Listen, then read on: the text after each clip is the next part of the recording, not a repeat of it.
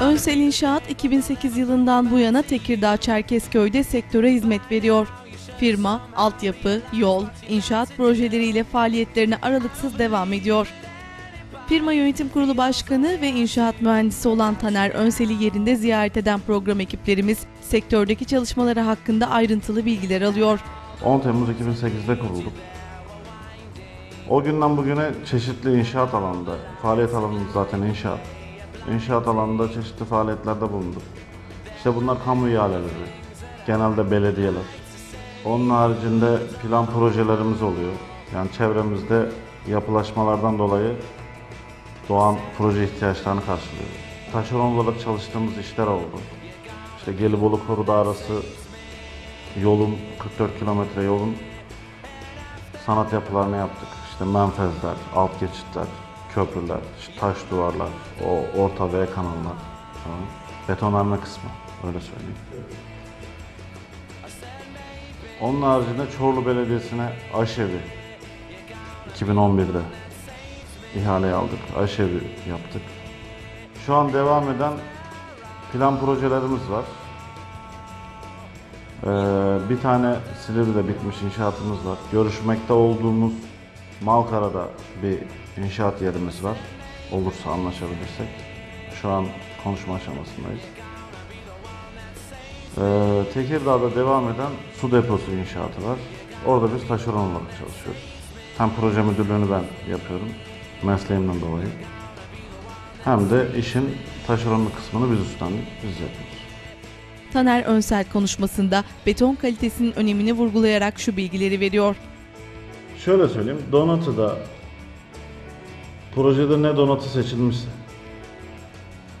betonda beton sınıfı ne seçilmişse herhangi bir katkı kullanmadan, katkı dediğim hani bu şey değil tabii döktüğün ortama göre değişir. Kışın olur.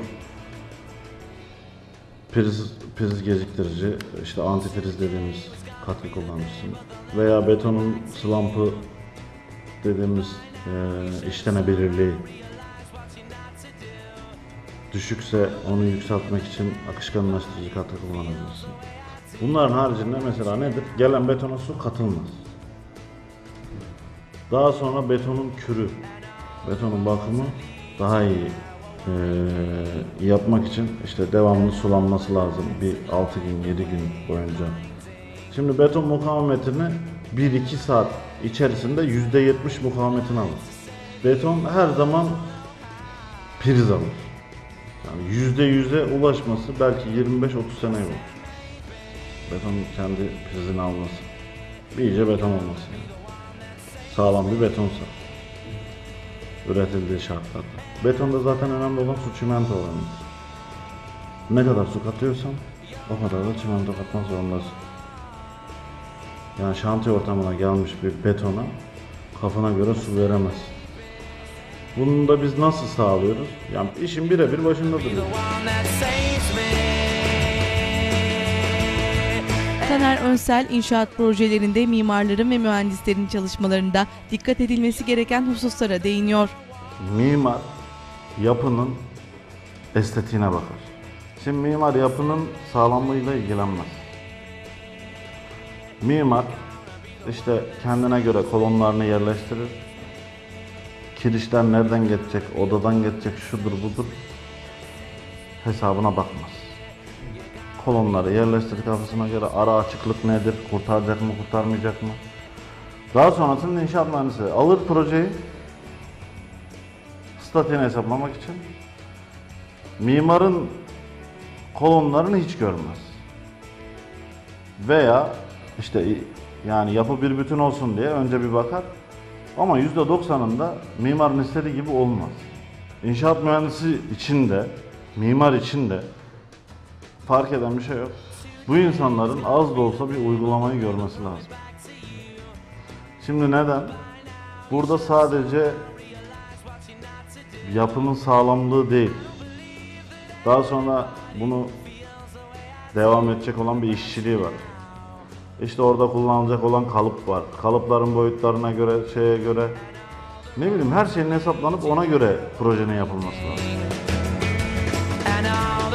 Firma alanında uzman eğitimli ekibiyle çalışmalarını başarıyla sürdürüyor. İlerisi olarak zaten teknik kadroyu ben arttırmaya başladım. İki tane inşaat mühendisi arkadaş aldım. Bir tanesi e, bizle beraber yine plan projelerimizde yardımcı olacak. Bir tanesi e, Tekirdağ Belediyesi'ndeki işin takibini yapacak. Şimdi şirketin e, yönünü, rotasını diyeyim. Ben yapsata çevirmeyi düşünüyorum. O yüzden az önce de zaten işin başında da bahsettim konuşmamızın başında. Malkara'da bir görüşmemiz var. Olursa orada e, 30 daire gibi kat karşıda bir proje olacak. Yapsat olacak. Öyle bir düşüncemiz var. Taner Önsel son olarak programımız aracılığıyla şu mesajları veriyor. nasıl diyeyim hani piyasaya söylenecek bir şey varsa ben özellikle mühendis arkadaşlara, mimar arkadaşlara işte bu işin eğitimini almış insanlara buradan seslenmek istiyorum. Bu insanlar yani gerçekten şu an eee, bu işin eğitimini almış insanlar hak ettiği paraları alamıyor.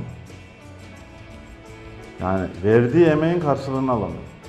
Buna dikkat etsinler. Tabii her şey ihtiyaçtan doğar. Bir yerde aynı işi bir kişi 10 liraya yapıyor. Bir kişi 0.5 liraya. Yani benim onlardan ricam böyle bir şeyde bulunmasınlar.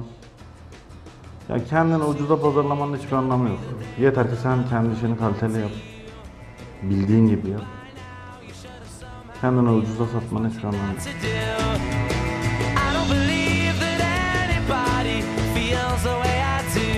about you.